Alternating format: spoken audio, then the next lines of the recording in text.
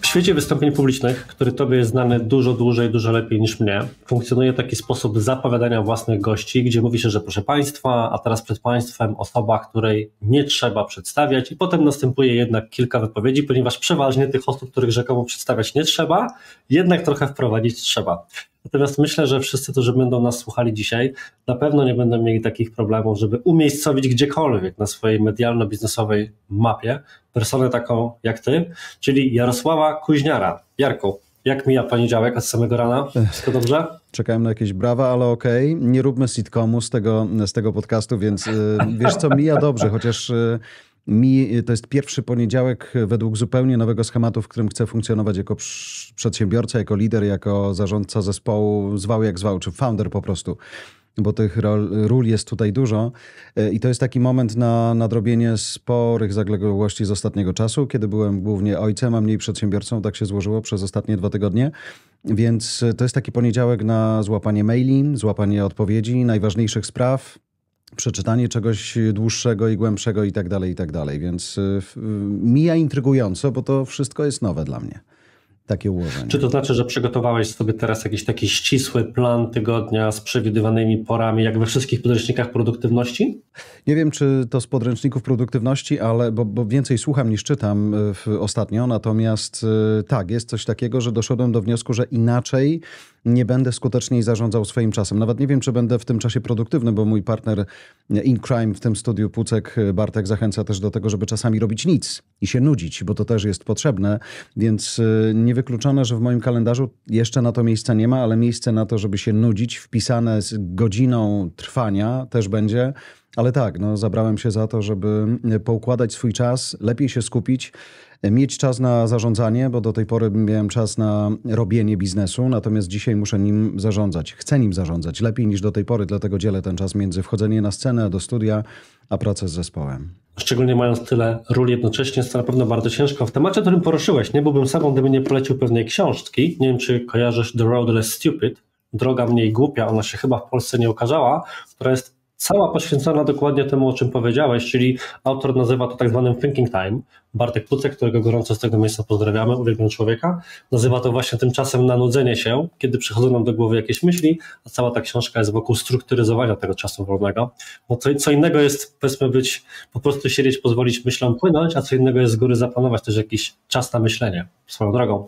Ale jest inna książka, o której dzisiaj chciałbym porozmawiać, która była pretekstem do naszego spotkania jest to Twoja książka, The Host, która jest podręcznikiem wystąpień publicznych w najszerszym, jak rozumiem, rozumieniu nomen omen tego słowa, czyli zarówno od takich spotkań, jak my w tej chwili realizujemy zdalnie, przez spotkania w rozumieniu prezentacja w salce konferencyjnej w korporacji, po wielkie sceny na setki tysiące ludzi. I zacząłbym od pytania nie bezpośrednio może z książką z, związanego, ale bezpośrednio z Twoją osobą. Powiedz mi, czy Ty, kiedy szykujesz jakieś wystąpienie, jeszcze się w ogóle stresujesz? Wiesz co, tak. I nawet pielęgnuję ten stres w tym sensie, że on jest, czy powinien być mobilizujący. I nawet dla tych, którzy, liderów, z którymi nie wiem, pracuję albo którzy przychodzą poradę, oni mierzą się ze swoim stresem, ze swoim strachem wręcz, a e, w skrajnych przypadkach ze swoją paniką przed wyjściem na scenę. Ja im wtedy mówię, żebyśmy spróbowali nie kilować tego stresu, ale go ograniczyć, bo nie da się zejść do zera. Szczególnie, że ten stres, jak sobie popatrzymy na to, na co, co się na niego składa, to są hormony, to jest czysta fizjologia i czysta biologia organizmu. E, natomiast to czasami jest za mały argument dla moich rozmówców e, i dla mnie też, mm, bo potem dochodzi do tego jeszcze nieprzepracowana trauma z przeszłości, a to matka, a to ojciec, a to pani w szkole, a to ktokolwiek inny, kto mówił: Ej, oni sobie radzą, ej, oni się nie denerwują, zobacz, jak on jest przygotowany, a ty nie, a ty nie, a ty nie. I tak słuchałeś tego i słuchałeś i słuchałeś, więc trudno, żebyś się dzisiaj nie denerwował. Dwa, że dzisiaj. Ty masz swoją reputację, ja mam swoją reputację, kiedy włączamy kamerę, włączamy mikrofony, Jedno to jest nasze przygotowanie, jakieś językowe ogarnięcie merytoryczne też, ale druga rzecz to jest taka, czy my czasem nie zawiedziemy tych, którzy będą oglądali nas. I jak sami wiemy, dzisiaj najcenniejszą walutą jest czas, szczególnie dla liderów, Twoich słuchaczy, naszych słuchaczy w Voice House. I mm, dowiezienie wartości taką rozmową jest czymś najtrudniejszym. I to jest coś, co tak naprawdę najbardziej wywołuje strach i stres u mnie czy uda się temu sprostać. Dlatego, że szczególnie tam na górze są dzisiaj ludzie, którzy słyszeli już nie jedno, widzieli już nie jedno, nienawidzą bullshitu, nienawidzą tracić czasu, więc jak już w ogóle będą chcieli nas posłuchać, to fajnie, żeby na końcu mieli z tego jakąś wartość w postaci wiedzy, rozrywki, nie wiem, czasami zderzenia się z tym, że myślę podobnie. Ja wychodząc na scenę dzisiaj, w trochę nowej roli, bo jak włączałeś telewizję, czy twoi rodzice włączali telewizję, czy państwo włączali telewizję, no to miał tam siedzieć ubrany, umyty, uczesany, umalowany i jakoś tam przygotowany gość, który przez 4 godziny, 5 godzin, 6 godzin, ile tam trzeba było, w miarę do sensu miał na żywo coś opowiadać. Ja już w tym się bardzo dobrze czułem, ale dzisiaj, kiedy wychodzę na scenę i mam czasami udowodnić, że jestem też dobrym przedsiębiorcą albo robię też biznesowe, ciekawe projekty i one się, nie wiem, dobrze układają, no to tu jest na nowo udowodnienie komuś, że ten gość wciąż żyje i że ma się dobrze i że to, co wymyślił sobie w życiu potelewizyjnym też ma sens. Więc tu dochodzi taki nowy stres. Właśnie reputacja to jedno, udowodnienie, że warto to drugie, a trzy, zupełnie nowa rola, którą trzeba jakoś obronić. Mhm. A zadałem to pytanie nieprzypadkowo, ponieważ bardzo często, kiedy wiesz, rozmawiam z ludźmi o wystąpieniach publicznych, to w świecie osób niewystępujących panuje przekonanie, być może też prowadząc szkolenia czy rozmawiając z nim się spotkałeś, że kiedy już się tę umiejętność opanuje, to stres automatycznie powinien minąć. Jest tego typu wiele dziw, pseudoprawd powtarzanych w przestrzeni publicznej. Nie, on nie minie. Bo właśnie choćby z tego powodu, że e, każdy z nas, kobieta, mężczyzna, nasze ciała reagują zupełnie inaczej. Inne hormony się uaktywniają i my nie możemy nad tym specjalnie zapanować, bo tak mamy od, nie wiem, ja 46 lat, każdy od tylu lat, ile żyje. I to jest bardzo ważne, żeby mieć tę świadomość i umieć to kontrolować, czyli popracować nad swoim oddechem przede wszystkim. I to takim oddechem nie na zasadzie, a mam dwa płuca, ogarnę, przecież wiem jak się oddycha. 46 lat oddycham, ale oddy oddech czy oddychanie na scenie świadome, głębokie, mądre, relaksujące czasami, e, a jednocześnie pomagające w tym, żeby głos był niższy, żeby był pełniejszy, żeby w ogóle dotrwać do końca zdania, czy dotrwać do końca prezentacji, to są zupełnie inne umiejętności, warto je, warto je mieć, więc tego nie powinniśmy nawet zabijać do końca, bo po pierwsze to niemożliwe, a po drugie e, jakaś taka energia i takie zniecierpliwienie, takie fajne nerwy, które będą pilnowały naszego flow na scenie też są ważne. Więc do zera się nie zejdzie, natomiast warto mieć to pod kontrolą. I teraz oddech, świadomość słabszych, mocniejszych stron tego, w jakim momencie dnia jesteśmy, tygodnia jesteśmy. Pytałeś mnie, jak, jak w poniedziałek. To jest taki dzień, kiedy ja mam trochę inną temperaturę ciała i inną temperaturę e, wrzenia niż pewnie będę miał jutro, pojutrze czy po pojutrze, bo gdybyśmy na przykład nagrywali to nasze spotkanie, ja bym wiedział, że mam je teraz z tobą za dwie godziny po nim będę miał ważne spotkanie z klientem albo wyjdę na scenę, żeby komuś przez 90 minut coś udowodnić, byłbym w zupełnie innym nastroju, pewnie w zupełnie innym flow, pewnie w zupełnie innym skupieniu. Inaczej bym się już na tym spotkaniu z tobą denerwował, więc to rozróżnienie tych nerwów, rozróżnienie powodów e, tych nerwów też jest e, ogromne. I nie zależy, czy po drugiej stronie jest 5 osób, 15 czy 1500, bo każda z tych osób będzie oczekiwała od nas jakości. Nie? Poruszyłem ten temat nieprzypadkowo. Ty też powiedziałeś kilka wątków, które będę chciał za chwilę poeksplorować, tych pozytywnych, jak realnie powinno się robić, ale zacząłem od czegoś, co jest właśnie z mojej perspektywy niewłaściwym mitem, czyli to przekonanie, że jeżeli jesteś albo wystarczająco przekonany, e, przepraszam, wystarczająco przygotowany, albo wystarczająco doświadczony, to nie będziesz się stresować. I w tym zakresie są takie rady, które pewnie nieraz słyszałeś odnośnie wystąpień. Na przykład coś tak na zasadzie anegdotycznej jest ten nawet żart, który się powtarza, że wyobraź sobie swoją publikę nago i wtedy na pewno przestaniesz się stresować. I jest pewnie jakiś taki katalog bzdur na temat wystąpień publicznych, czy mówiąc delikatniej, mitów w zakresie tego, jak powinno się planować, przygotowywać czy egzekwować wystąpienia. I czy jesteś w stanie wskazać właśnie kilka takich rzeczy funkcjonujących w przestrzeni okołomówczej, jeżeli to jest dobra na to nazwa, które wiesz, że są powtarzane, ale de facto są nieprawdą. Na pewno nie sprawdzi się e, takie mam doświadczenie ja, e, żeby wybrać sobie na widowni jedną osobę, która e, spersonalizowana przez ciebie będzie wyobrażeniem twojej mamy, twojej dziewczyny, twojej kochanki, twojego przyjaciela i mówić tylko do niego. Bo jak wychodzisz na scenę i masz 1500 osób, 2000 ludzi, 3000 ludzi, 70 tysięcy ludzi, tego nam życzę, to nie jesteś w stanie tego zrobić i nawet nie powinieneś, bo świadomość tego, do kogo mówisz, jest skrajnie istotna. Najpopularniejszą amerykańską prawdą o tym, co zrobić dobrze na scenie, to jest know your audience. I to jest audience twoja, czy nasza teraz, to jest moja, kiedy ja siadam w moim studiu, czy wychodzę na scenę. Im więcej wiedzy o tych ludziach, tym lepiej jesteś w stanie przygotować puentę, żarty, konteksty, przykłady itd., itd., itd. Wiedzieć, ilu ich jest, czego oczekują, też jest skrajnie ważne, więc tam nie powinno być mamy, przyjaciela, nikogo. Nie, nie powinniśmy też właśnie, mówiliśmy już o tym micie, dbać o to, żeby być zabawnym od, końca, od początku do końca i żeby w ogóle się nie denerwować. Powtarzać sobie, nie będę się denerwował, przecież oni też nie dają rady. Oni też rano są nadze albo też idą do toalety i też robią dwójkę. No robią, tylko że to ci nie pomoże na scenie. Ty musisz być skupiony i profesjonalny od początku do końca. Więc wyobrażam, takie pacyfikowanie naturalnych takich emocji, które wywołują scena czy studio, jest absurdalne, bo powinniśmy raczej to umieć oswajać, umieć e, zrozumieć, co nas tam czeka, w jakiej roli występujemy, czego się od nas oczekuje i zmierzyć się z tym. To jest to zadanie. Więc a propos tego katalogu bzdur, to wyobrażanie sobie najbliższych, to.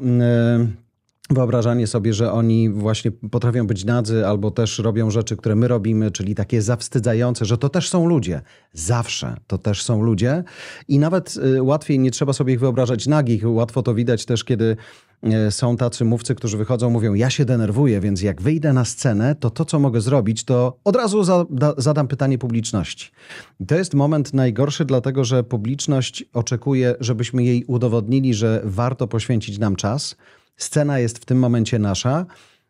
I reflektory są na nas, więc jak my nagle chcemy o coś zapytać i trochę y, przekręcamy te reflektory na nich, którzy są niegotowi, nie mają pomysłu na odpowiedź i tak dalej, już jesteśmy na przegranej pozycji. Więc wydaje mi się, że to są te, te najbardziej, e, nie wiem czy one są absurdalne i bzdurne, ale, ale są amatorskie rady, kiedy mówimy, pamiętaj, że po drugiej stronie są tacy, którzy na pewno gorzej sobie poradzą niż ty. Nie wiemy tego. Mogą tam być lepsi mówcy od nas. Natomiast my mamy swoją chwilę, e, swoją przestrzeń, swój czas na scenie i to, co powinniśmy wiedzieć, to to, że mm, im więcej wiedzy o tych ludziach, tym lepiej dla naszego wystąpienia. Mam tendencję do zadawania bardzo długich pytań albo robienia bardzo długich wstępów jako podbudowę do pytania, więc teraz muszę Cię poprosić o cierpliwość w tym zakresie, ale to będzie naprawdę zmierzało do pytania. Otóż, e, wystąpienia publiczne są mi bliskie. Chciałbym je kiedyś bardzo dobrze opanować i zawsze się zastanawiam, próbuję sobie zrobić taką inżynierię wsteczną, co działa bądź nie działa. I jednocześnie myślę właśnie o tych wszystkich radach funkcjonujących w przestrzeni. I w zasadzie jest trochę tak, że kiedy czyta się dostępne przeważnie online bądź offline materiały na temat wystąpień publicznych, to mam wrażenie, że one próbują wziąć jakiegoś człowieka, usunąć pewne jego wady i dopasować go do pewnego modelu, tak zwanego modelu nomen omen modelowego wystąpienia. Jeżeli chodzi właśnie o niższy niż naturalny tembr głosu, być może wolniejsze frazowanie i kilka innych takich cech, które pewnie też za chwilę mógłbyś wymienić. Z drugiej strony, kiedy później tak refleksyjnie zastanawiam się nad tym, jakich mówców ja lubię i jak oni się zachowują na scenie, i próbuję sobie na przykład odtworzyć jakiegoś, na przykład TEDxa bądź cokolwiek innego i skupić się na tym, co jest mówione, na tym, jak jest mówione, a nie co jest mówione, to bardzo często widzę, nie pamiętam tej ładnej nazwy, ale te wszystkie efekty dźwiękowe typu y, e. Widzę osoby, które nie patrzą na publikę i patrzą gdzieś w dziwną przestrzeń. Widzę osoby, które dużo chodzą, choć w teorii nie powinno się chodzić i tak dalej, i tak dalej. Tym przydługi wstęp prowadzi mnie do dość krótkiego już pytania. Z Twojej perspektywy, osoby, która pewnie widziała setki, jak nie tysiące mówców, co jest na koniec dnia ważniejsze? Perfekcja sceniczna w rozumieniu tych rzeczy, które wymieniliśmy, tembr głosu, tempo mówienia i tak dalej, czy przebicie się z własnym charakterem, niezależnie od wad, które temu charakterowi towarzyszą? To jest dobre pytanie i akceptuję to, że było rzeczywiście przydługie pytanie, natomiast e, nie wiem, czy to przypadek, czy nie, ale e, wydaje mi się, że mam idealną odpowiedź na Twoje pytanie. Bo mógłbym oczywiście odpowiedzieć, e, to zależy, ale to byłaby głupia odpowiedź i staram się jej unikać. Mógłbym powiedzieć wszystko i udowodnię, że w tym wszystko jest jednak jak najwięcej prawdy, ale podam Ci przykład na sam, na sam początek. Skończyłem wczoraj w nocy serial o Śnieżnym Bractwie. Mogłem go oczywiście oczywiście obejrzeć na raz, ale był zbyt długi, żeby, żeby zobaczyć, co się tak naprawdę w górach, w Andach w tym 1972-1973 roku wydarzyło. Kiedy para wybitnych sportowców, może nie wybitnych, ale sportowców z Urugwaju wystartowała samolotem i miała dotrzeć na miejsce, ale samolot rozbił się w Andach. Nie wszyscy przeżyli. Doszło do aktów kanibalizmu, doszło do niesamowitych e, zdarzeń i podejrzewam przepotężnych zmian w mentalu tych ludzi, tych facetów, którzy przeżyli. I kiedy zatrzymałem w połowie oglądania ten serial parę dni wstecz, sięgnąłem do internetu, żeby nie zobaczyć, jak ta historia się skończy, ale sprawdzić, czy ktoś z tych, którzy przetrwali, dał gdzieś głos.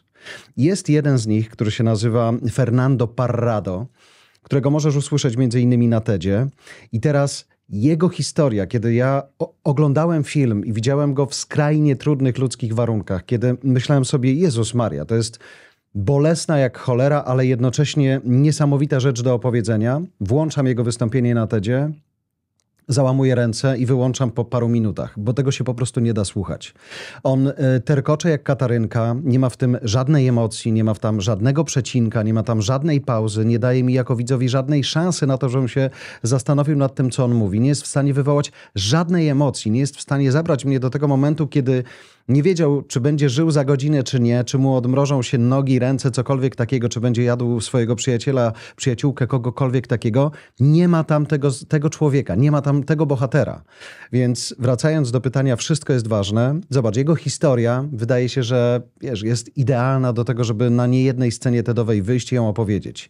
Ale on jej nie umie opowiedzieć. Nie dlatego, że jest amatorem, dlatego, że może ktoś bał mu się wskazać, może on nie potrafi inaczej. I teraz moją uwagę jako widza przegrał. Gdybym chciał mu coś podpowiedzieć, to na pewno bym wypolerował z nim tę historię. Bo każda sytuacja, w której my wchodzimy na scenę, wymaga wejścia w rolę.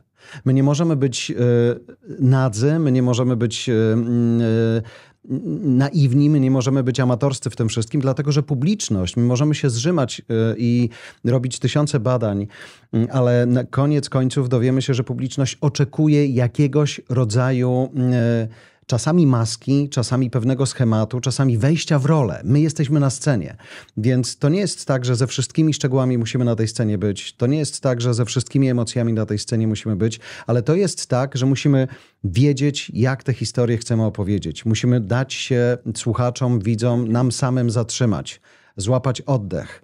Prze Zobacz, gdyby on opowiadając o momencie, w którym pierwszy raz sięgnął po mięso z ciała swojego przyjaciela, który leżał już y, zamarznięty, nieżywy obok. Nie zatrzymał się i opowiedział o tym, no i wzięliśmy, pokroiliśmy i zjedliśmy, przepraszam za szczegóły. No to chciałbyś chwili, żeby pomyśleć sobie, ale jak to? A on ci nie daje na to przestrzeni, więc łażenie po scenie, zbyt szybkie mówienie, tutaj przegrasz tą historię właśnie tymi wszystkimi szczegółami, więc jego naturalność się nie przydaje do poniesienia dobrze tej historii. Nie wiem, czy to jest dobra odpowiedź na Twoje pytanie, ale wydaje mi się, że nie da się z każdego z tych elementów potrzebnych do tego, żeby na końcu uzyskać efekt, czyli zachwycić widownię, przejąć widownię.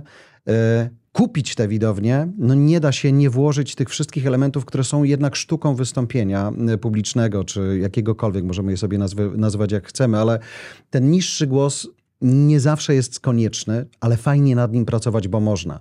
Nie możemy mieć vibrato cały czas i, i, i piszczeć i w sposób zdenerwowany o czymś opowiadać, bo to będzie słychać. My możemy się denerwować w momencie, w którym sytuacja, historia, moment w tej historii tego wymaga, ale jeżeli my przeniesiemy na scenę całą naszą amatorskość, to wydaje mi się, że przegramy. Mhm. Okej, okay, to spróbuję to pytanie zadać odrobinę inaczej albo doprecyzować, bo może dzięki temu będzie mi łatwiej zwerbalizować, co próbuję z ciebie wyciągnąć. I na pewno znasz to zdanie otwierające Annę Kareninę, chyba najsłynniejsze zdanie e, otwierające jakąkolwiek książkę w historii, że wszystkie szczęśliwe rodziny są do siebie podobne, a każda nieszczęśliwa jest nieszczęśliwa na swój własny sposób.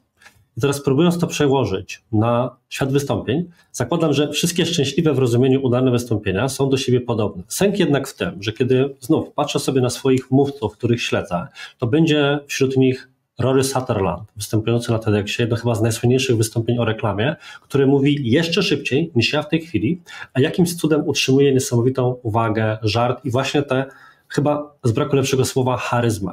Obok tego na polskiej scenie bardzo, bardzo cenię sobie takiego mówcę, jakim jest Roman Łoziński, też ze świata reklamy, który z kolei mówi niesamowicie powoli, bardzo niskim głosem. Buduje te obrazy i misterne konstrukcje w swoim wystąpieniu przez długie minuty, zanim dostarczy choćby jedną puentę. Ja nie potrafię nawet się zmusić, że mówić tak wolno jak on.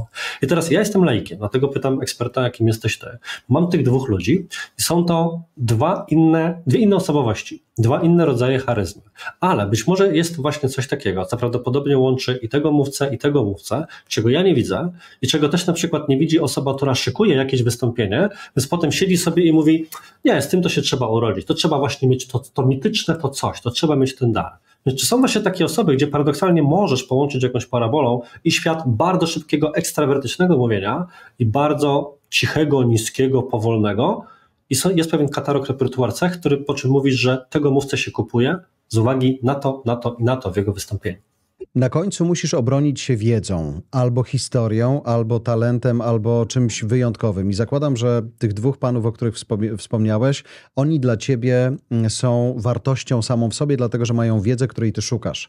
Wtórnym wtedy jest sposób, w jaki ją przekazują. Natomiast wydaje mi się, że gdyby oni przekazywali to w taki sposób, który ciebie z uwagi na tempo albo na, na tempo w rozumieniu szybkie albo wolne, mm, nie zawsze to akceptujesz, nie zawsze kupujesz, ale czekasz na nich i słuchasz ich, dlatego że na końcu, prędzej czy później, dowiesz się tego, e, czego chcesz. E, uzyskasz tę obietnicę, którą oni ci w jakimś sensie, zapraszając cię na spotkanie ze sobą, składają.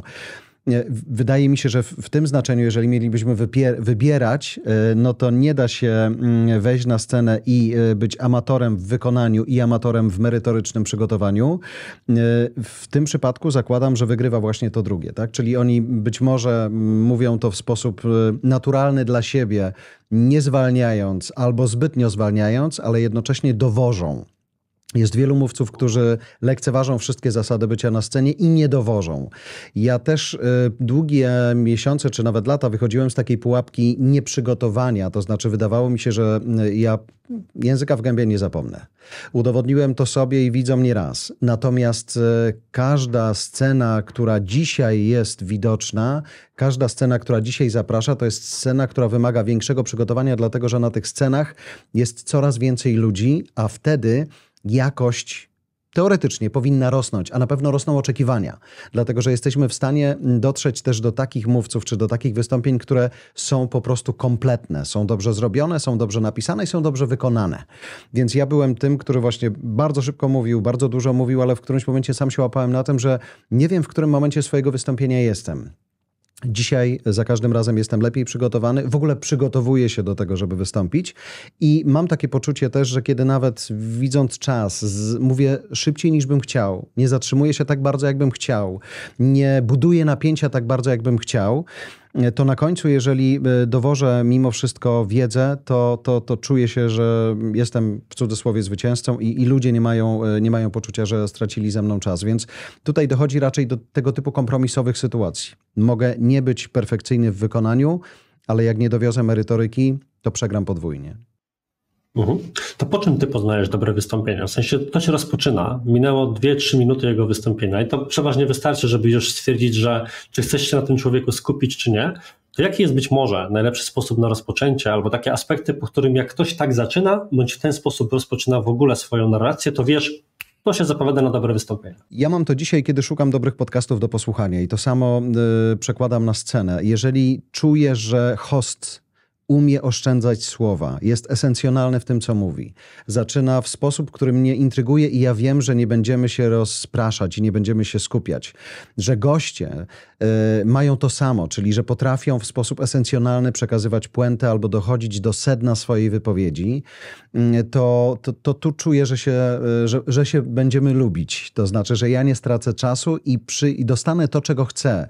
Ja wychodzę z wielu podcastów i z wielu spotkań z notatkami i potrzebuję sobie coś zanotować Jeżeli po pierwszych słowach nie będę słyszał, e, że czegoś się dowiem, coś odkryję albo z czymś się zmierzę, to to już będzie dla mnie stracony czas. Choć, i tutaj zrobiłbym wyjątek, bo to, co jest ważne w kontekście wystąpień w ogóle, zależnie oczywiście od publiczności, ale sam mam tak często, że kiedy publiczność jest trudna, albo mnie się wydaje, że ona jest trudna dla mnie, bo jest duża, bo jest dla mnie nowa, albo bo ma mega kompetencje i ja muszę udowodnić, że mam nie mniejsze to to, co mnie, mnie kupuje u innych i to, co mnie udaje się uzyskać, kiedy wchodzę w taką sytuację, to jest jednak złamanie tego napięcia, które jest na samym początku. Więc jeżeli ktoś będzie, pokaże mi w jakiś sposób dystans do siebie, będzie umiał w fajny sposób, lekki, zdystansowany, czasami żartobliwy, złapać sytuację, która być może się wydarzyła przed chwilą, związaną z problemem technicznym, albo tym, o czym rozmawialiśmy w kolejce do kawy, albo spóźnieniem konferencji, czymkolwiek takim,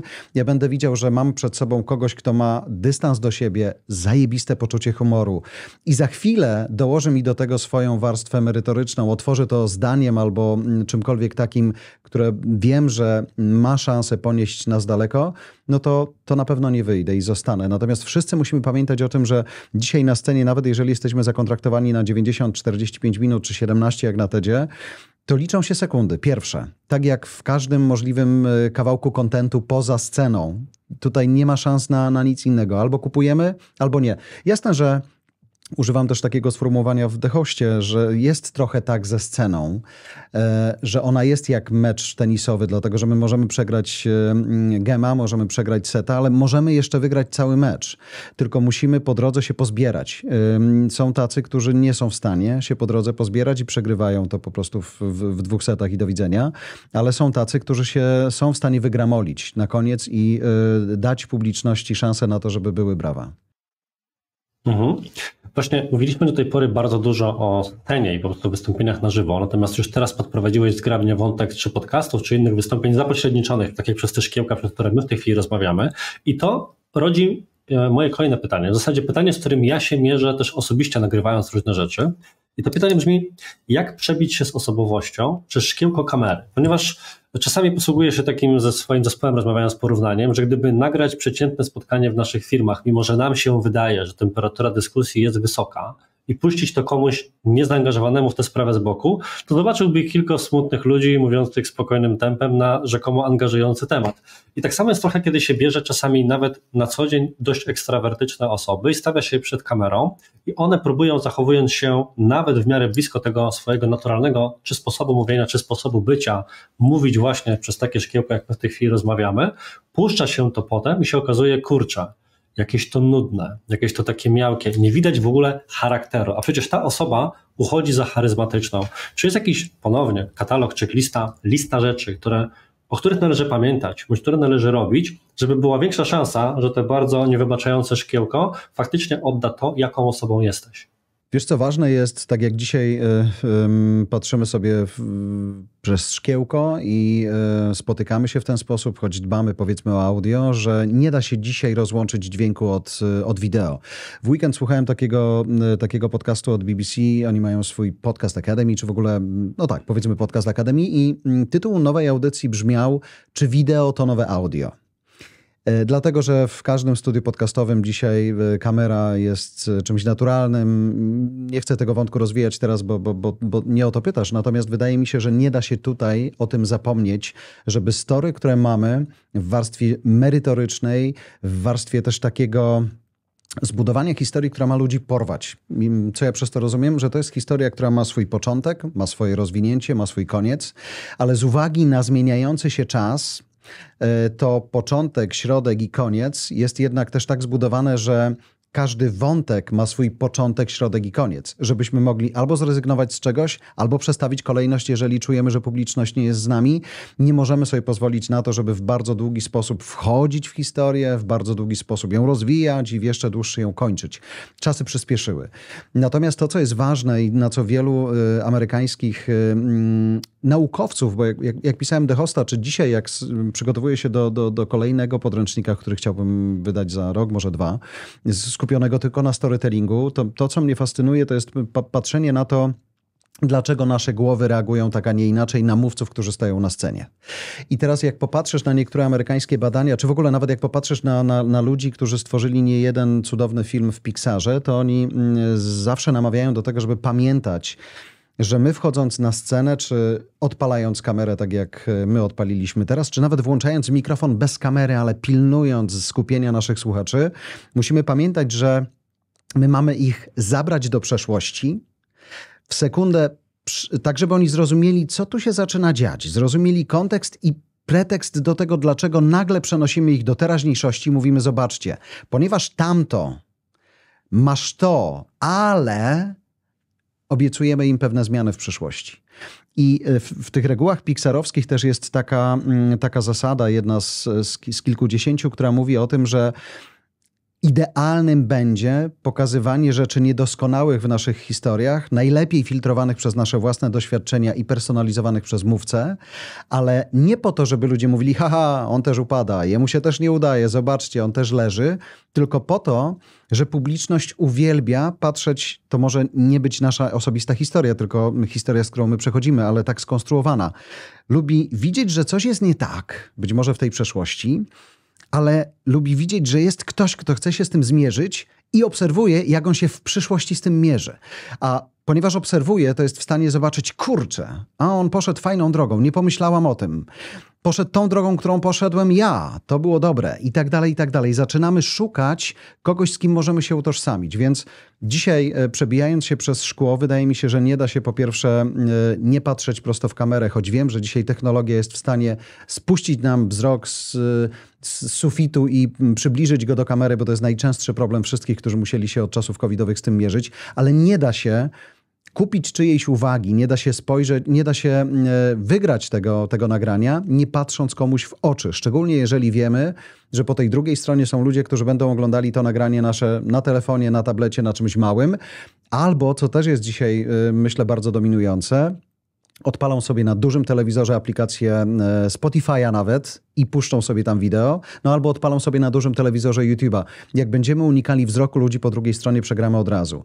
I dwa, to co jest myślę ważne, żeby nie zatracić się w tym wszystkim, to nie pakować sobie do tego typu nagrań, czy do tego typu wystąpień, nawet jak macie nagrania na Lumie, czy w jakiejś innej aplikacji, która pozwala wam zostawić wideo dla kogoś, kto ma zrozumieć, co chcecie, żeby zostało zrobione i przekazać to dalej, to nie bawienie się w żadne prezentacje, tylko spróbowanie złapania gestu, zamknięcia go w tym frame'ie kadrowym, w którym jesteśmy, nie bania się tego, że nawet jak siedzimy przed kamerą w studiu podcastowym czy wideokastowym, nasze gesty też mogą grać swoją rolę, też powinny być widoczne, powinny być gdzieś na wysokości klatki piersiowej, a nie pod stołem w okolicach krocza, bo nasze dłonie też coś mówią, dopowiadają flow, przerywają to flow, też coś komunikują, jeżeli używamy ich w odpowiednim tempie, więc Tutaj y, sama osobowość y, znów nie będzie enough, potrzeba do tego trochę techniki, a tą techniką jest właśnie spokojniejsze mówienie czasami, akcentowanie i jakaś forma retoryczności też, czy oratorstwa też.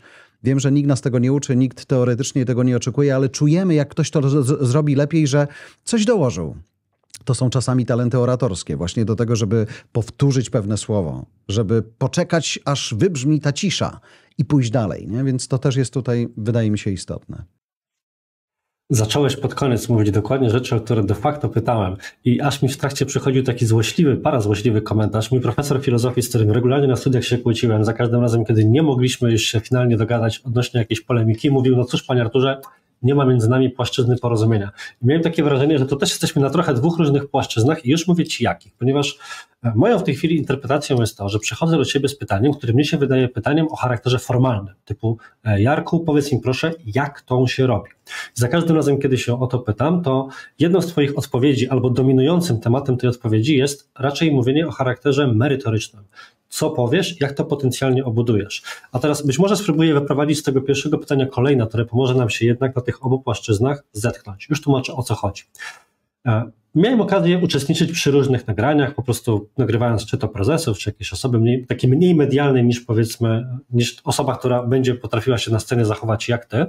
I zawsze był pewien problem, że ktoś po nagraniu albo wychodził tak, jak normalnie się zachowywał, przez co to było nudne potem w szkiełku, albo ilekroć próbował być trochę lepszą wersją siebie na potrzeby kamery, to potem miał wrażenie dziwnej sztuczności. I to się objawiało kilkoma aspektami. Na przykład ktoś tu normalnie mówi powoli albo cicho. Starał się mówić głośniej i bardziej wyraźnie, przez co sobie samemu wydawał się sztuczny, albo szedł mu bardzo wysoko głos, bo przeważnie przynajmniej ja po sobie też coś takiego widzę, że kiedy próbujesz mówić mocniej, to jednak jednocześnie ciężko jest zachować siłę głosu, z niskim tembrem, brzmieniem, jakkolwiek jest na to fachowe słowo.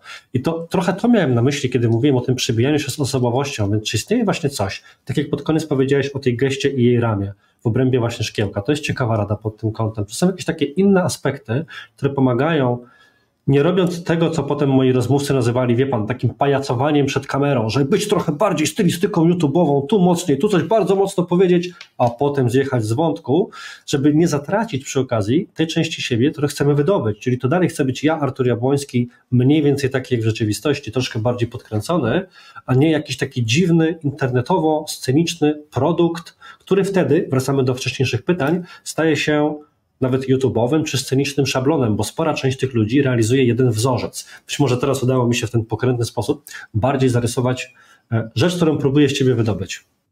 A mogę dopytać, czyli pytanie twoje brzmi, jak być naturalnym przed kamerą? Trochę tak, ale to sprowadzone do jednego zdania staje się odrobinę mm, banalne. Nie? W sensie, jak jak to zrobić normalnie, bo tu bardziej chodzi o to, że właśnie jak podkręcić cechy, których, jak sam powiedziałeś, publika wymaga i oczekuje, takie jak głos, panowanie nad gestem czy cokolwiek innego, żeby to było przyciągające uwagę, ale jednocześnie nie zmienić się w parodię samego siebie albo przesadnie ekstrawertyczną wersją, wersją siebie, rodem z rozrywkowych filmów na YouTube. To spróbuję Czy odpowiedzieć. istnieje jakaś droga środka? E, Spróbuję odpowiedzieć cytatem z Janusza Gojesa, który bardzo lubię. To znaczy, pan Janusz uważa, że najważniejsze w e, byciu na scenie jest pamiętanie o e, jednej rzeczy.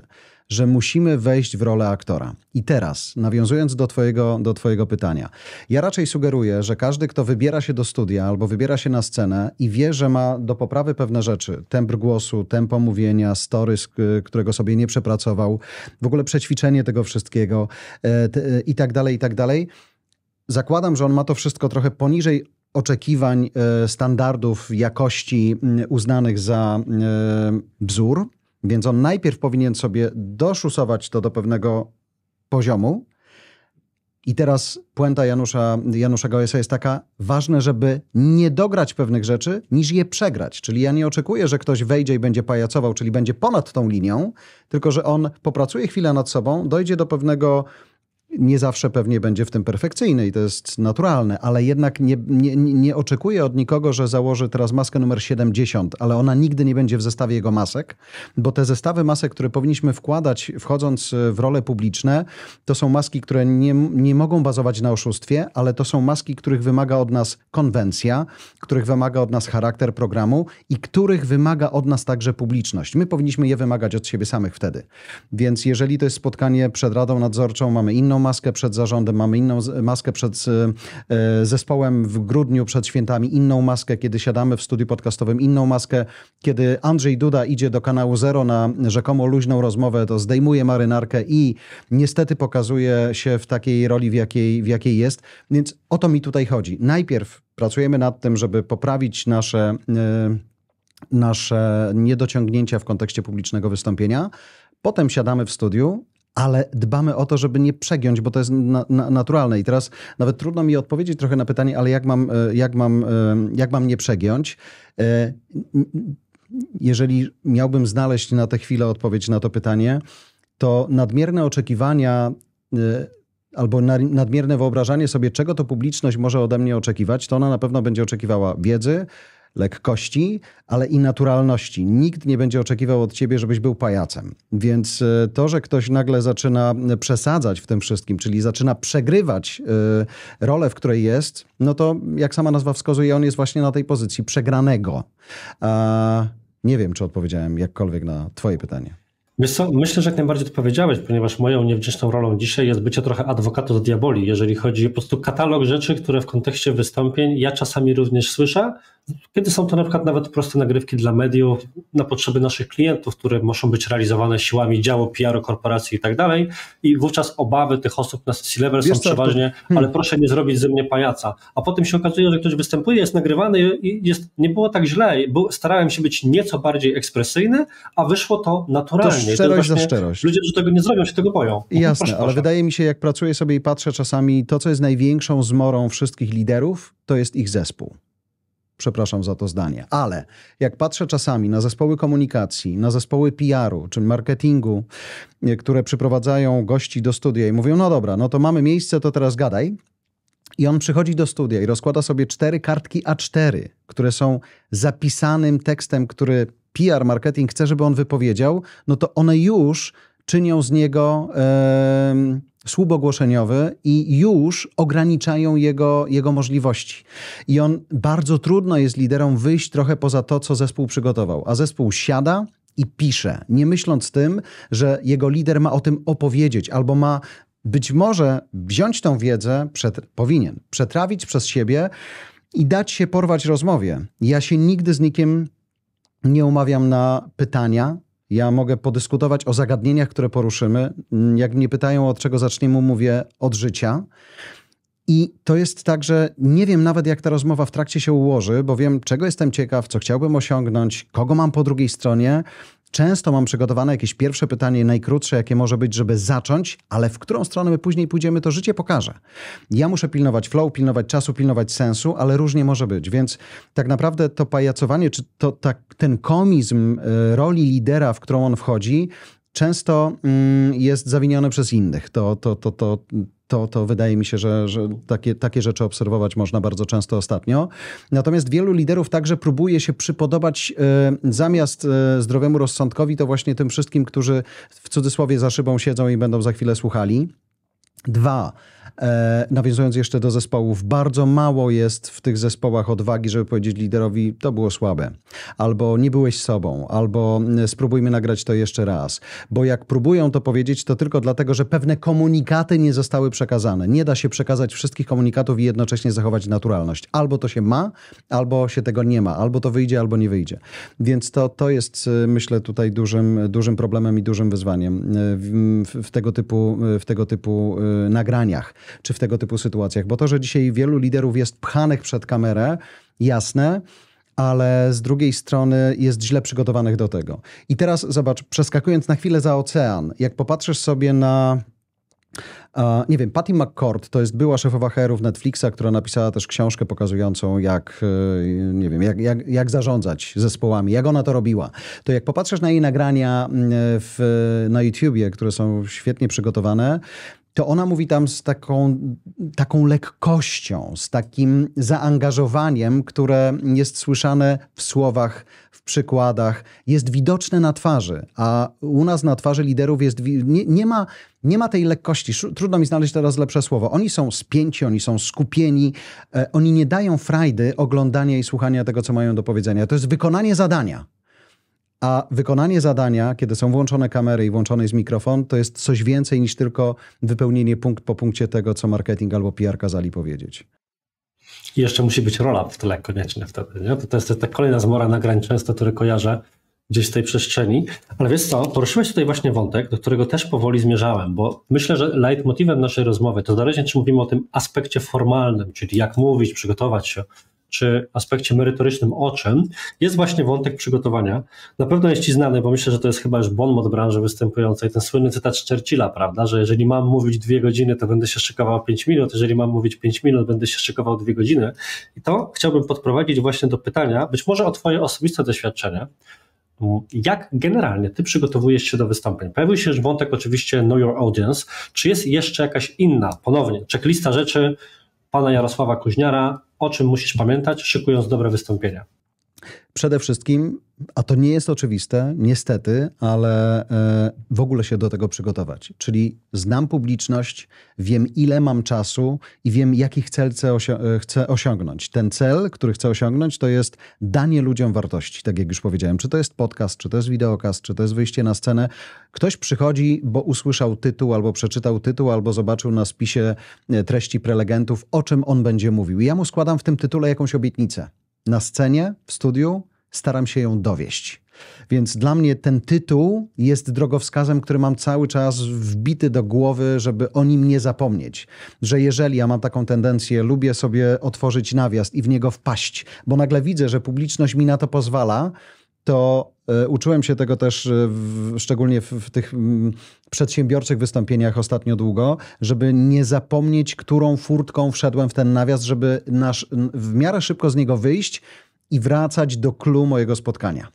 Żeby nie tracić uwagi, nie tracić siebie też tam, bo umiejętność mam dużą, ale to nie zawsze jest ten szczyt i ta droga, którą chciałbym pójść. Przygotowanie oznacza, że ja się przygotowuję dosłownie jeden do jednego. Czyli jeżeli mam wystąpienie, przygotowuję sobie i ktoś zmusza mnie do tego, żebym miał do niego slajdy, przygotowuję sobie te slajdy jako coś totalnie uzupełniającego, coś, co nie wybije mnie z rytmu. Mało tego, coś, co jeżeli się nie załaduje, ja i tak zrobię swoje. Ja dowiozę to słowem, niekoniecznie muszę dowieść to wizją. To jest najistotniejsze. A ćwiczę dosłownie jeden do jednego. Jest wielu takich, którzy mówią, a dobra, to mi przygotowali, to jak będzie to, to ja sobie zrobię, okej, okay, to w ten sposób i tutaj bym, tu się zatrzymam, a tam powiem to, a tutaj ewentualnie użyję, no i dobra, i tu będzie ten żart, a później po tym żarcie, no zakładamy, że oni się jakoś tam uśmiechną, więc jak oni się uśmiechną, to ja im podziękuję albo nie. Koniec przygotowania. Jezus, nie da się tak, choć to jest bardzo typowe. To, y, I dlatego to robienie tego jeden do jednego żeby sobie po pierwsze zmierzyć czas, żeby to sobie jakkolwiek nagrać nawet amatorsko na telefon stojący na wysokości naszych oczu, żeby usłyszeć, czy słowa, których używamy, zdania, które konstruujemy, czy puenty, które mamy, albo przykłady, które dajemy, są fajne. Może trzeba je podmienić. Nie każdy może sobie pozwolić na to, na co sobie pozwalali w w opowieści o prezydencie Stanów Zjednoczonych na Netflixie z Kevinem Spacey. To był serial, który się nazywał House of Cards? House of Cards. On jak był prezydentem, miał mieć swoje wystąpienie, to w gabinecie stawiano tę samą mównicę, ubierano go tak samo, jak będzie wyglądał, stawał, włączano prompter, wyświetlano wszystko obok, siedział cały sztab i mówili, nie, nie, stary, tam nie będzie że, dajmy albo i zmieniali i cyzelowali. To ma sens. I teraz, jeżeli chcemy na końcu mieć poczucie, e, wiem, że to brzmi strasznie, bo ile to czasu trzeba na to poświęcić, to nieprawda, że musimy cyzelować każde słowo. Jeżeli chcemy osiągnąć skutek i chcemy osiągnąć efekt, to powinniśmy to jednak zrobić właśnie w ten sposób.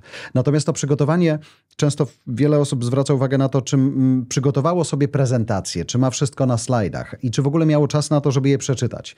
Natomiast skrajnie ważne jest przygotowanie głowy, przygotowanie krtani, przygotowanie strun głosowych, przygotowanie twarzy, skóry twarzy, przygotowanie i rozgrzanie języka i przygotowanie ciała. Jest wielu mówców, których proszę często stań dumnie, wyprostuj się, podnieś odrobinę głowę do góry, bo jesteś na scenie. Ludzie wymagają, żeby po tobie było widać lidera albo kogoś, kto przyszedł do nich z czymś ważnym. Nie możesz być na spocznij, nie możesz być zgarbiony. A bardzo często to są naturalne postawy ludzi, albo ktoś buduje historię i mówi, i właśnie teraz wam opowiem, co nowego w nowym roku zrobimy, i wtedy robi spocznij. Wszystko tutaj, tempo, słowo, gest, dykcja i właśnie ten moment, czy ta, ta, to nasze bycie na tej scenie też ma znaczenie. Jak tego sobie nie przećwiczymy, to nie będziemy mieli kiedy tego zrobić na scenie. Jak, będziemy, jak nie wejdziemy na scenę wcześniej, nie powiemy czegoś do mikrofonu, nie usłyszymy, jak ten dźwięk się rozchodzi po tej naszej sali, nie zobaczymy, czy ta akustyka jest dobra, czy niedobra, zrobimy to pierwszy raz, kiedy wyjdziemy na scenę, to będziemy robić to, co prawie większość prelegentów, czyli raz, dwa, słychać mnie, o, dziękuję. No, tak jak powiedział przed chwilą prowadzący, nazywam się Jan Kowalski, reprezentuję firmę XYZ i opowiem wam za chwilę o tym i o tym. Zobaczcie, co zresztą przygotowałem dla was i nagle pojawia się spis treści. Pierwsze e, cztery minuty spokojnie do kosza, nie? Więc o to chodzi, żeby sobie to przećwiczyć, żeby usłyszeć, żeby zobaczyć, jakie są światła, żeby nie wchodzić, nie mrużyć oczu i nie dokładać do tego, co powiedziałem przed chwilą jeszcze, o wow, nie sądziłem, że tu będzie aż tak jasno. W ogóle was nie widzę. Hej, jesteście tam? Powiedzcie coś, bo nie wiem, czy jesteście. What the fuck? To w ogóle nie jest o tym. Więc ta próba powinna być mentalna, fizyczna i techniczna, e, taka dosłownie jeden do jednego. I teraz jeszcze jedna podpowiedź w kontekście przygotowania dla pań, ale myślę, że dla panów też choć e, nie podejrzewam, żebyśmy biegali w szpilkach, natomiast e, to, w jakim obuwiu wyjdziemy, na jaką scenę też ma znaczenie, bo widziałem wiele pań, które ćwiczą sobie w adidasach, e, następnego dnia przychodzą w, w żakietach, na szpilkach, a scena już nie jest szorstka, tylko folia została zdjęta, jest śliska jak cholera i one przez całe swoje wystąpienie myślą o tym, wywalę się czy nie. Nic więcej. Także to przygotowanie, mm, mm, wspomniałem przez chwilę delikatnie jeszcze o garderobie, ale to też ma znaczenie, żebyśmy byli tak przygotowani do tego naszego wystąpienia, żeby ani słów nie zabrakło, ani żadna techniczna rzecz nas nie zdziwiła, oraz żeby nasz strój też nas komunikował na tym poziomie, na którym chcemy być skomunikowani i żeby nam nie przeszkadzał. Oraz, a propos mentalnego przygotowania, Strój bardzo często dodaje nam poczucia pewności siebie. Więc jeżeli możemy mieć na sobie coś, co daje nam takie poczucie, że wyglądamy jak mm, milion dolarów, to trzymajmy się tego, żeby wyglądać tak jak główny bohater z YouTube, też na Netflixie swoją drogą, bo jemu to na sali sądowej dodawało odwagi, a jednocześnie wiele osób nie chciało z nim dyskutować właśnie dlatego, że po prostu wszystko u niego świetnie grało. Do cynizmu dokładał strój, pewność siebie, był Bogiem. Czyli stara maksyma, czego nie powiem, to dowyglądam, jednak się sprawdza.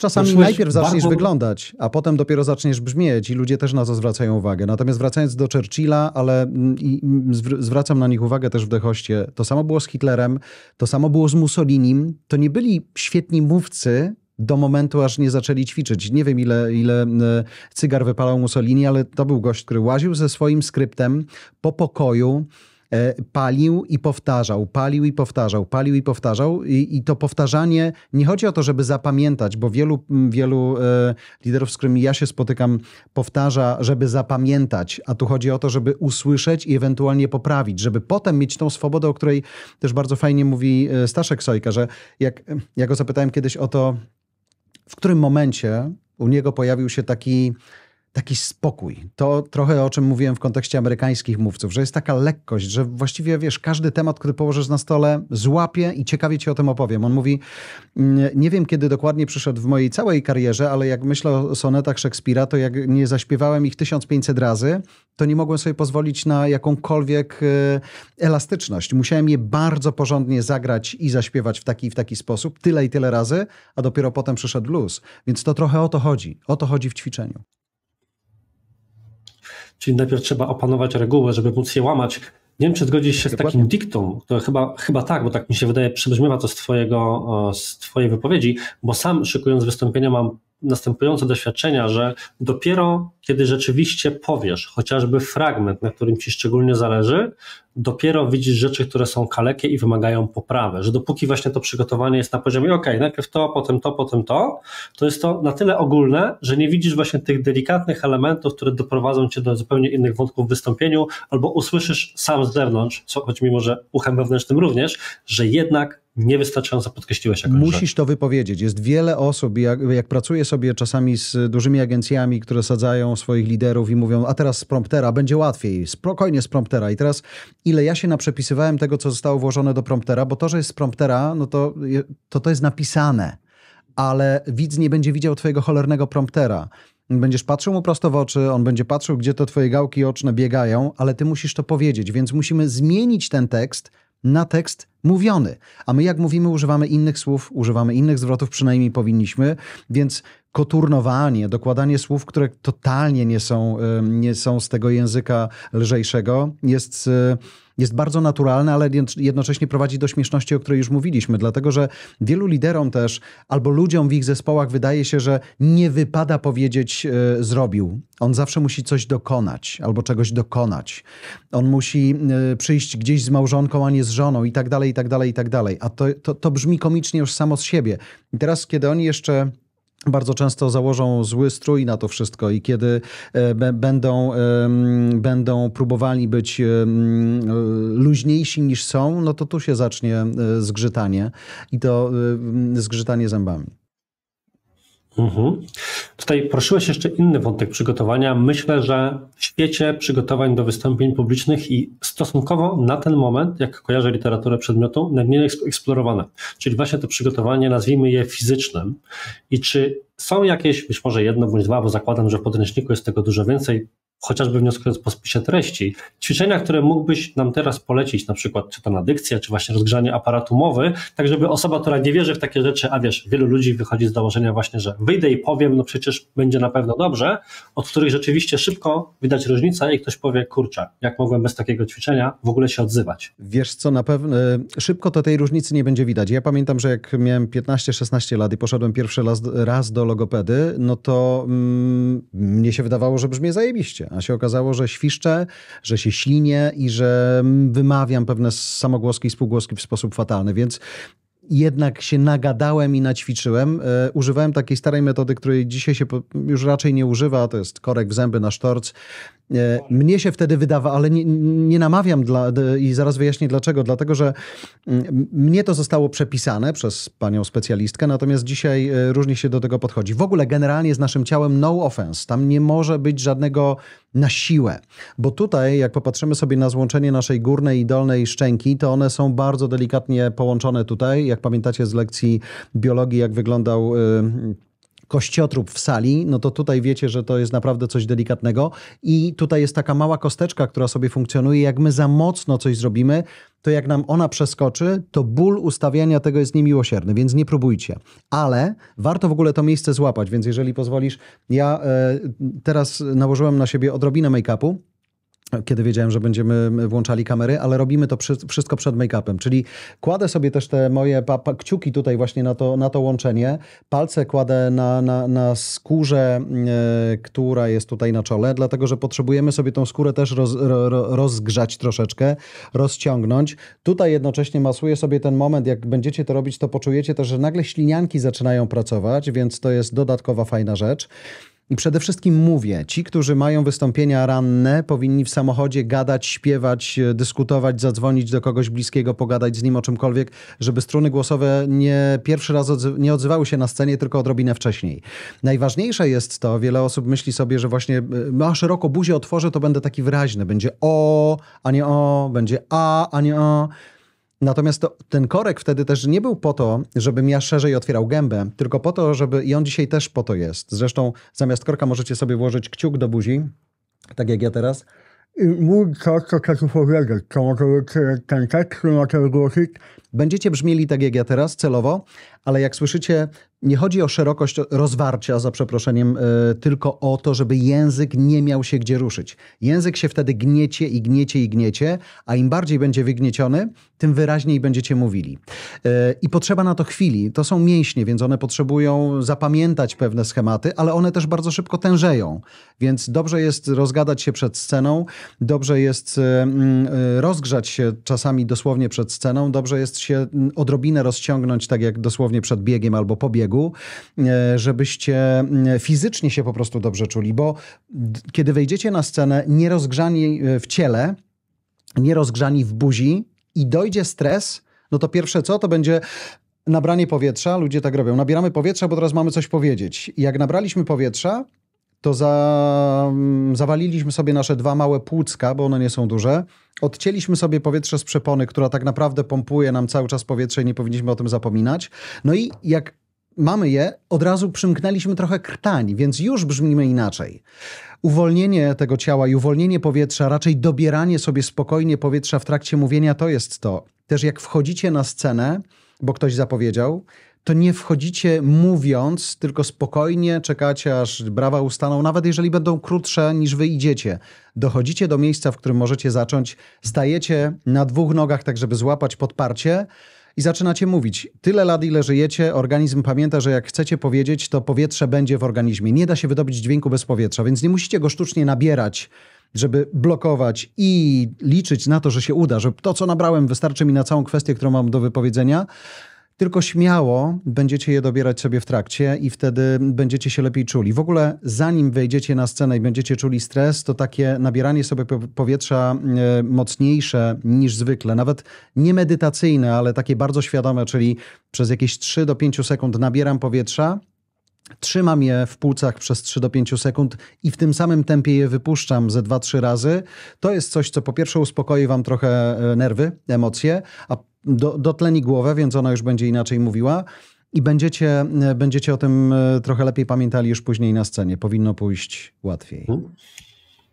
Taką rzeczą, którą powoli zmierzając już do końca, bym to nawet podsumował, to, że czas jest pojęciem względnym i że dopiero widząc na scenie, kiedy się siedzi, widać jak inne jest postrzeganie tej krótkiej chwili, którą nawet człowiek potrzebuje, żeby się za przeproszeniem ogarnąć i poczuć swobodnie, kontra to, jak postrzega to publika. Ja swego czasu właśnie najgorzej szły mi wystąpienia wtedy, kiedy starałem się bardzo szybko zacząć, bo ledwo wszedłem, już chciałem mówić i wydawało mi się, że o Boże, oni już tyle czekają, tyle czekają, aż ja się odezwę. A od tamtego czasu zaczynam sobie robić eksperymenty, jak długo publika wytrzyma, zanim się zacznie wiercić. I spokojnie można i do 10 doliczyć i dopiero zacząć mówić i nic złego się nie stanie. Pytanie, czy potwierdzasz? Potwierdzam, bo wiesz co, jest dużo takich sytuacji, zaciąłem się, ale to fatalnie wyglądało i teraz oglądamy sobie to, ja mówię, zobacz, to jest moment, w którym się zaciąłeś. Raz, dwa, trwał dwie sekundy, nikt nie zauważył. Głowa na scenie mówi, Jezus, ile to trwa. Ja jestem z radia, więc mi wszyscy mówili, tam nie może być ciszy, pamiętaj, zagaduj. ale dzisiaj ta świadomość tego, że właśnie w momencie, w którym opowiadamy coś ważnego i chcemy, żeby to wybrzmiało, albo mamy salę, na której się fajnie niesie, nie wiem, pamiętam, a miałem przyjemność pracować niedawno z Nomen Omen Netflixem też na, w Narodowym Forum Muzyki we Wrocławiu. To w sumie mogłem stać bez nagłośnienia. Głos się tak niesie, ale jednocześnie on tak prowokuje do tego, żeby właśnie nie terkotać, tylko żeby mówić i mówić i mówić i mówić. To nie znaczy, że musimy mówić wolno, bo możemy się bawić tempem, ale jednocześnie musimy dać szansę, żeby to doleciało tam, gdzie ma dolecieć, z tym, co chcemy, żeby doleciało. Więc to też jest tutaj istotne. I nie przejmować się tym, bo głowa ciśnie. Głowa mówi, jest gorzej niż jest. W realu, jakbyście oglądali to na szpiegu, to nie będzie bolało. No, to jest chyba podobna rzecz, jak w takiej zwykłej komunikacji na spotkaniach. Kiedyś miałem okazję rozmawiać z liderem, który uważał, że jest osobą, która zawsze daje zespołowi szansę na skomentowanie, skonfrontowanie dowolnego poglądu czy dowolnego celu. No i okazało się, że później w jakichś ankietach 360 zespół stwierdził, że wcale tak nie jest. A ta osoba była zbulwersowana, przecież mówi, no jak to? Przecież za każdym razem, kiedy ogłaszamy jakąś zmianę, ja się pytam, czy ktoś chce zabrać głos, czy ktoś ma jakiś komentarz do tego, odczekuję chwilę i nikt nic nie mówi, więc jedziemy dalej. Jest założone, że milczenie oznacza zgodę.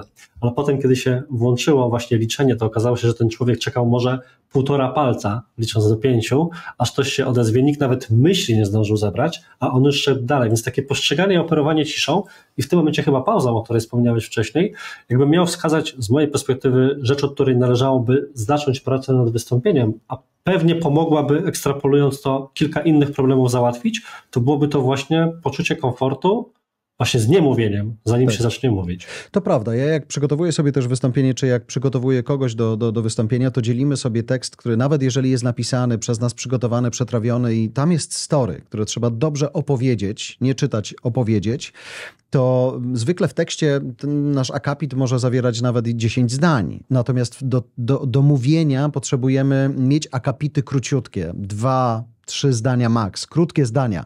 W ogóle to, co pozwala też robić tempo w mówieniu, to jest budowanie tego wszystkiego na krótkich zdaniach. Nie na, na monosylabach, ale na krótkich zdaniach, które pozwalają postawić kropkę. I jest różnica między pauzą a kropką. Pauza to jest taki moment, w którym czasami ta pauza to oznacza przecinek, czasami to jest dwukropek i wyliczanie czegoś. Natomiast kropka to jest taki moment, w którym zamknęliśmy jakąś myśl. I teraz jest wiele osób, które nawet jeżeli mają w tekście kropkę, nawet jeżeli właśnie coś ważnego powiedziały, to to wszystko jest na takim intonacyjnym otwarciu. Tam nie ma intonacyjnego domknięcia jak ja teraz, przesadnie trochę, nie? Ale to też buduje pewne skojarzenia i to też buduje jakiś posłuch w publiczności.